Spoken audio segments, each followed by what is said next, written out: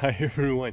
So in this video it is a bit cold as you can see and also I'm going to check out the Pinecone SG1205 and now they have an official license which is from CF Moto and the model is the Z Force Sport R and we're going to have a look at it. And here it is but first let's get rid of that plastic wrapper. I know that the plastic is meant for protection but it was not really necessary. In my head, I think this is the first time that Pinecone model ever dropped an RC car with an official license. It's four-wheel drive, it has shocks in the, in the servo, and it's fully proportioned. And the license is by CF Moto, and the Z Force seems to be a car that is relatively popular. And we have not the orange one, but the white one.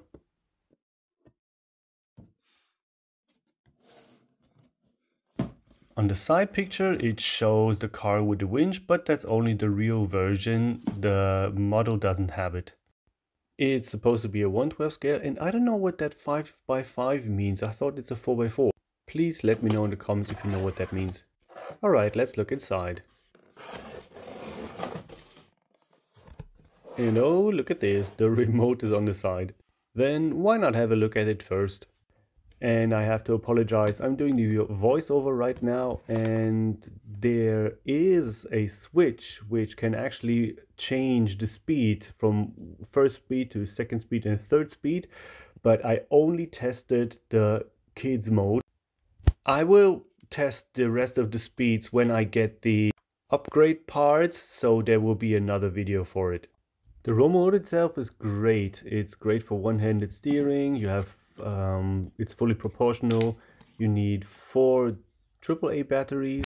It has steering trim and steering dual rate where you can adjust the angle of how much you want to steer.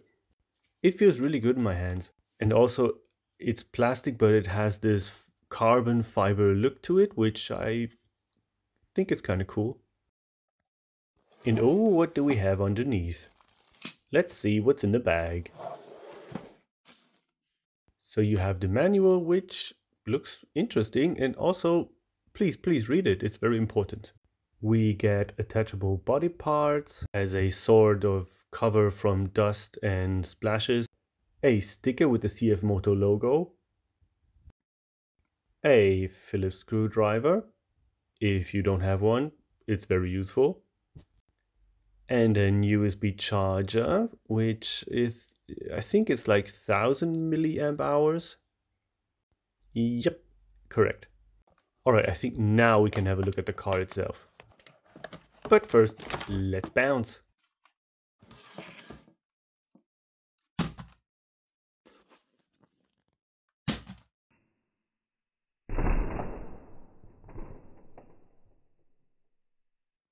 It looks really cool, but I think that the beadlock tires are fake.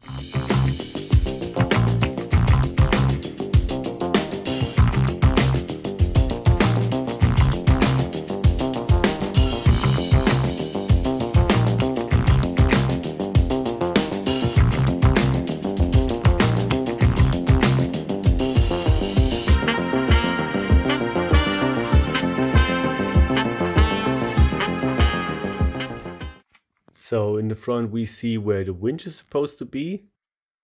And this is where the spare sticker goes if you ever lose it. And we have a compartment box in the back. That's kind of cool. What would you put inside?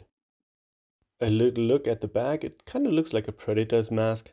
The suspension looks quite interesting. And as I expected, we will get lots of plastic parts. We have plastic diff cups, and plastic CVDs, but they're both upgradable. I already ordered them, so wait for the video. You will see my upgrade video soon and also where I test the other speeds as well. And plastic CVDs aren't bad for the start too. The battery is hidden under the driver's seat. You open the door and then pull out the battery. It's a 2S LiPo with a 3-pin connector. I think like 600 milliamp hours, which is kind of powerful. So please, I'm sorry if the car looks very slow in the video. It's because it's only the first speed. I mean, it's a 2S LiPo 600 milliamp hours. It will get you some speed. So, radio on. And the car... Uh, wait a moment. Um, okay, car on, but where? Uh, there's nothing underneath. There's nothing in the back. Do I take the... Ah, see, there is a starter button and you press it.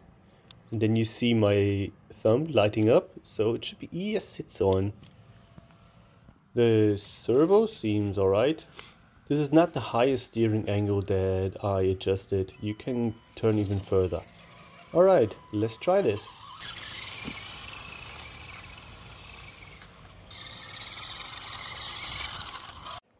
Oh yeah, and I forgot to mention, you have turning indicators here and in the back as well.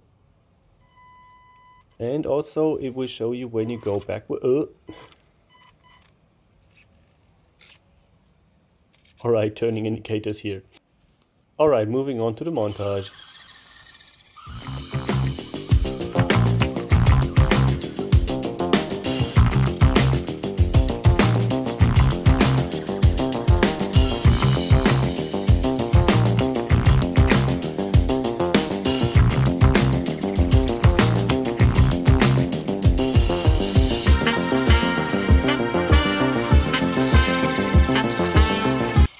Oh yes, and those SSVs have an interesting design where the front tires and the back tires can be functioning like a bumper.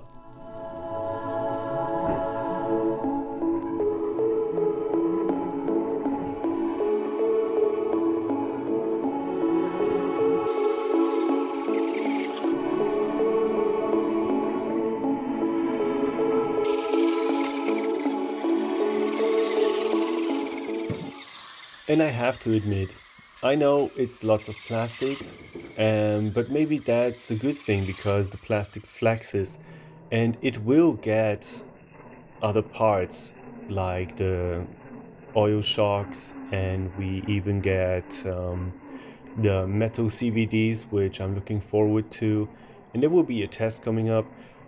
Even in kids mode I already had lots of fun.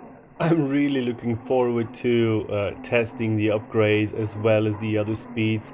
So if you don't want to miss it, please make sure you subscribe if you haven't already and don't forget to like the video. Thank you for watching!